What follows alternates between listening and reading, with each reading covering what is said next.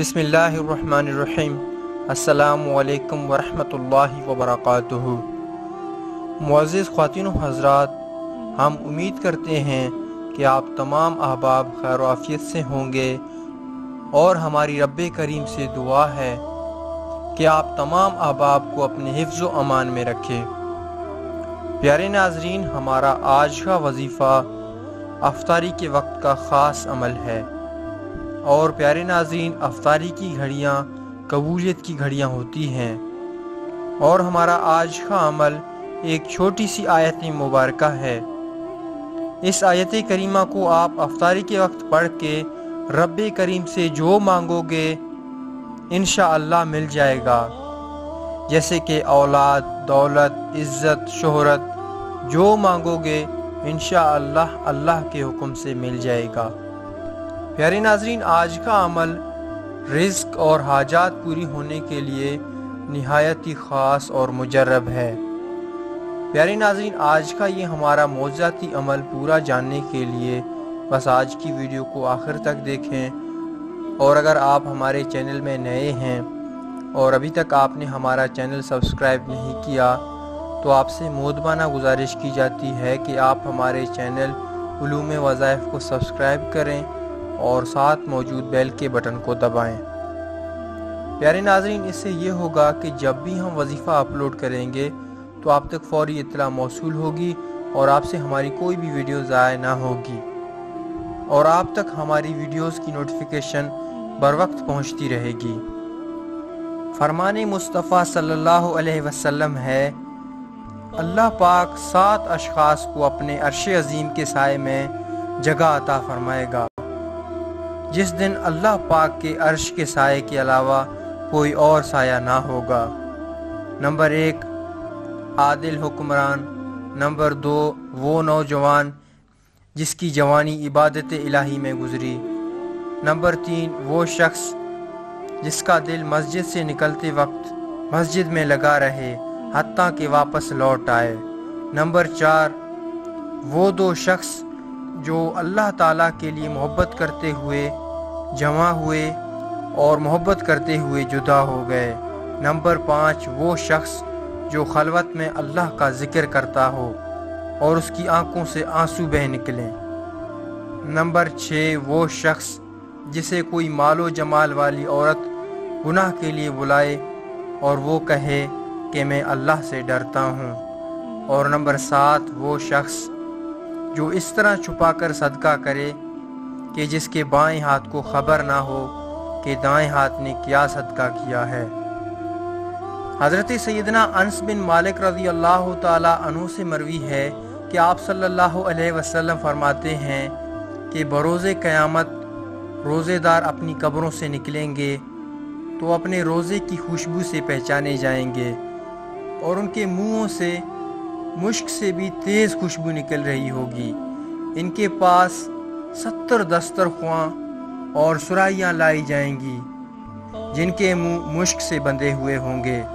फिर उनसे कहा जाएगा, खाओ, कि तुम उस वक्त भूखे रहते थे, जब लोग पेट भरकर खाना खाते थे, और पियो, कि तुम उस वक्त प्यासे रहते थे, जब लोग सैराब होते थे, और आराम करो कि तुम उस वक्त थकते थे जब लोग आराम कर रहे होते थे। तो वो खाएँगे, पिएँगे और आराम करेंगे। हालाँकि लोग थके, मांदे और प्यासे हिसाब किताब में मशगूल होंगे। तो मेरे भाइयों और बहनों, माह रमज़ान के रोज़ों के लिए बिशारत है, जब तक कि वो अपने ख़ताओं और नाफरमानियों से बचता रहेगा और अल्लाह की रज़ा के लिए रोज़े रखेंगे। तो प्यारे नाजीन रमज़ान करीम में अल्लाह तबारक व ताली की खूब इबादत करें और गुनाहों से बचते रहें और रोज़ों का अहतमाम करके, ज़िक्र अजगार करके अपने रब्बी करीम को राज़ी करें। इन आपके सब मामला सुलझ जाएँगे। और प्यारे नाजीन हमारा आज का अमल करें। इन आपकी तमाम हाजतें और मुरादें पूरी होंगी। हमारा आज का अमल अफ्तारी के वक्त का ख़ास अमल है। आपने पूरे रमज़ान की अफ्तारी के वक्त आपने इस अमल को कर लेना है। इन इस अमल की बरकत से आपको दुनिया की तमाम नेमतें मिल जाएँगी और आपके यहाँ कभी भी रिस्क की तंगी नहीं होगी। इन पूरा साल रिस्क ही रिस्क होगा। प्यारे नाजरीन, आपने करना कुछ यूँ है कि आपने अफ्तारी के वक्त पाँच या दस मिनट पहले इस अमल को कर लेना है। आपने अव्वल आखिर दरुद इब्राहिमी पढ़ना है दरमियान में आपने एक छोटी सी आयत मुबारक पढ़नी है। वो आयत करीमा ये है कि आपने सूरतुलमायदा की आयत नंबर 114 की तिलावत करनी है, जिसको आपने सात मरतबा पढ़ना है। और ये आयत करीमा आपको स्क्रीन पर भी नज़र आ रहा है और मैं आपको पढ़कर भी सुनाता हूँ।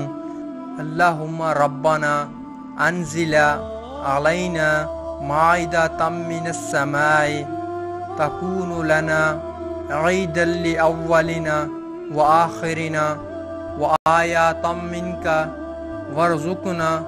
अंत खैर तो आपने इस आयत करीमा को सात मरतबा पढ़ना है, जो कि आपको स्क्रीन पर भी नज़र आ रहा है।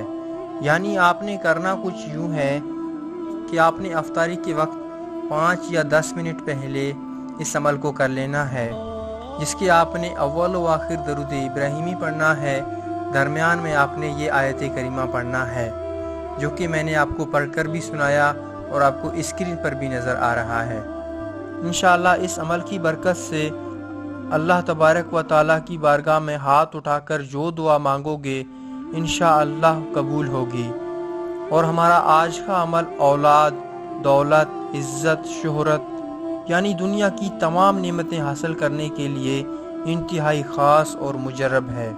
प्यारे नाजरीन, अफ्तारी के वक्त इस अमल को करके रब करीम से जो मांगोगे इन मिल जाएगा। हर जायज़ दुआ कबूल होगी और जो भी जायज़ हाजात और मुरादें हैं इन पूरी होंगी। क्योंकि अफ्तारी का वक्त, कबूलियत का वक्त होता है और इस घड़ी में अल्लाह तबारक व ताली रोज़ेदार की दुआ रद्द नहीं करता और उसको अल्लाह तबारक व ताली खुश कर देता है। तो प्यारे नाजरीन, कोशिश करें कि अफ्तारी के वक्त पाँच या दस मिनट पहले इस अमल को करें और अल्लाह तबारक व ताली से दुआ मांगें। इन आपकी तमाम जायज़ दुआएँ कबूल होंगी। और प्यारे नाजीन हमारी अल्लाह तबारक व ताली की बारगाह में दुआ है कि अल्लाह ताला हमें इस माह मुबारक में खूब इबादत करने की तोफ़ी अता फ़रमाए और हमारी गुनाहों को माफ़ फरमाए और हमसे राज़ी हो जाए।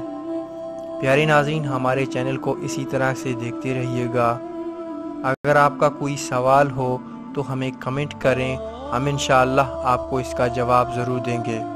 और प्यारे नाजीन आपने अपने लिए दुआ कराना हो तो कमेंट बॉक्स में अपना नाम लिखें। इन खसूसी दुआ में आपका नाम लेकर दुआ मांगा जाएगा।